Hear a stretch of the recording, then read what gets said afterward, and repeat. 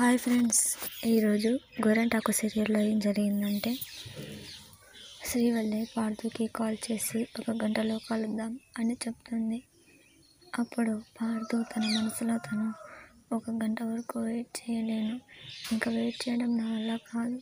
నువ్వు నాకు ఖచ్చితంగా నేను ప్రేమిస్తున్నాను అని చెప్పాల్సిందే అంటాడు పార్థు శ్రీవల్లి కూడా తన మనసులో ఎలా అనుకుంటుంది. ఈ రోజుతో ఈ ప్రేమ పాఠాలకి పోలీస్ స్టాప్ పెట్టాలి అని ఒకరి మనసులో ఒకరు వేరు వేరు మాటలను అనుకుంటూ ఉంటారు ఇద్దరు. సరే శ్రీవల్లి నేను అరగంటలో అక్కడ ఉంటాను అని ఫోన్ పెట్టేస్తాడు పార్దు. అంతలోపే పార్దు వాళ్ళ ఫ్రెండ్ అక్కడికి వచ్చి ఒక కొత్త షర్ట్ తీసుకొని వచ్చి వదిన దగ్గరికి వెళ్తున్నావు కదా ఇది వేసుకో అంటాడు. సరే అని పార్దు కూడా అది వేసుకుంటాడు. అవును ఈరోజు నీ వదిన నాకు ఐ లవ్ యూ చెప్పబోతుంది. నువ్వు అని చెప్పాలనుకుంటే తన ఫోన్లోనే చెప్పేది. ఇంత దూరం పార్కుకి పిలిచి మాట్లాడాల్సిన అవసరం లేదు అని పార్దు అంటాడు. పార్దు అలా అనగానే తన ఫ్రెండ్ ఇంతకుముందు కూడా ఇలానే ఆశపడ్డావు. ఏం జరిగింది? అంతగా ఆశలు పెట్టుకోవద్దు.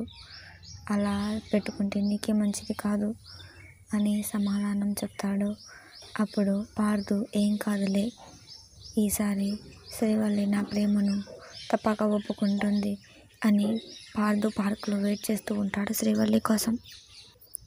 అప్పుడు ఫోన్లో శ్రీవల్లి ఫోటో చూసి నేను వెయిట్ చేయలేను ఇంకా ఎస్ అని చెప్తే నేను నేను వదిలి ఉండలేను ఇంకా అని అనుకుంటూ ఉంటాడు పార్దు. అప్పుడే శ్రీవల్లి అక్కడికి వస్తుంది. పార్దు వైపు చూసి ఏంటి ప్రేమ ప్రేమ ప్రేమ అని ఇలా గోల చేస్తున్నావు?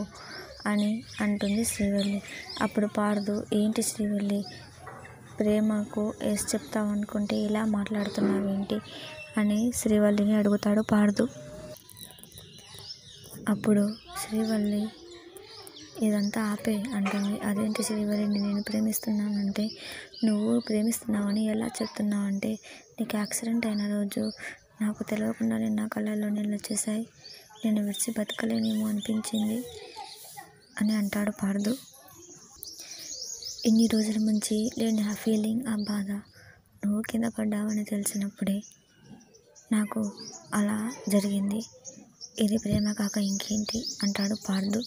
అప్పుడు శ్రీవల్లి అది ప్రేమైనా ఏమైనా? అది ప్రేమ కాదు ఏం కాదు. ఒకవేళ ఏమైనా అయినా కూడా అయినా నాకు అనవసరం. నువ్వు నన్ను ఇంకా మర్చిపోవాలి అంటుంది శ్రీవల్లి.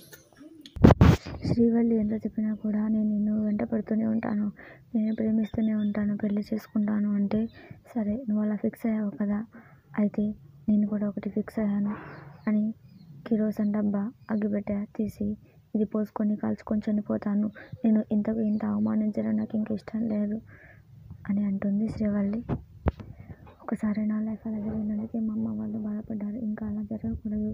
నువ్వు మా ఇంటికి వచ్చినా నాతో మాట్లాడినా షాప్కి వచ్చినా ఎక్కడికి వచ్చినా నేను కూడా పోసుకొని చనిపోతాను అని పార్థుకి చెప్తుంది శ్రీవల్లి. అప్పుడు పార్థు వద్దు శ్రీవల్లి నువ్వు నాకు దక్కకపోయినా పర్వాలేదు. నువ్వు మాత్రం బ్రతికే ఉండాలి అని శ్రీవల్లికి చెప్తాడు అప్పుడు శ్రీవల్లి అక్కడి నుంచి కోపంగా వెళ్ళిపోతుంది పార్దు మాత్రం. ఆ పార్కులోనే కూర్చొని ఏడుస్తూ ఉంటాడు. శ్రీవల్లి ఇంటికి వచ్చేలోపు గౌతమి దగ్గరికి గాయత్రి వచ్చి వాళ్ళ పాపతో ఆడుకుంటూ ఉంటుంది. పాపను చూడాలనిపించి వచ్చాను అని అంటుంది గాయత్రి. గౌతమి గాయత్రిలు ఇద్దరు అబ్బాయి గురించి మాట్లాడుతూ ఉంటాడు అంతలోపు శ్రీవల్లి అక్కడికి వస్తుంది. శ్రీవల్లిని చూసిన గౌతమి ఈ శ్రీ శ్రీవల్లి మళ్ళీ పార్వతో గొడవ పడినట్లుంది. అని అనుకుంటూ ఉంటుంది. అక్కడికి ఎప్పుడు శ్రీవల్లి రాగానే శ్రీవల్లి ముఖం చూసిన గాయత్రి ఏంటక్క శ్రీవల్లి? అక్క అలా ఉంది.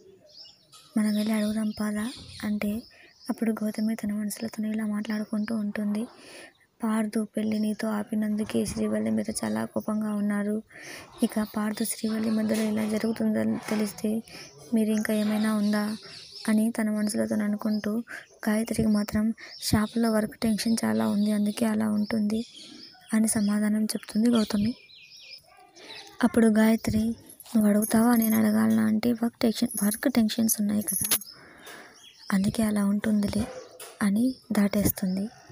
అప్పుడు గాయత్రి తన మనసులో తను ఇలా అనుకుంటుంది ఇక్కడ ఏదో జరుగుతుంది కానీ వీళ్ళు నాకు ఎవరు ఏది చెప్పడం లేదు అని తన మనసులో తను అలా మాట్లాడుకుంటూ ఉంటుంది గాయత్రి. అప్పుడు గాయత్రి సరే అక్క నేను వెళ్తున్నాను అంటుంది. అప్పుడు శ్రీవల్లి ఒకసాట కూర్చొని పార్దు అన్న విషయాలను ఆలోచిస్తూ ఉంటుంది. గాయత్రి వెళ్ళిపోయిన తర్వాత గౌతమి వచ్చి ఏం జరిగింది? అని అంటుంది. శ్రీవల్లి అక్కడ జరిగినంత చెప్తుంది. అప్పుడు చచ్చిపోతానని బెదిరిస్తావా? ఒక పిరికిదానిలాగా అని అంటుంది శ్రీవల్లిని గౌతమి. అప్పుడు శ్రీవల్లి నాకు వేరే దారి లేదు.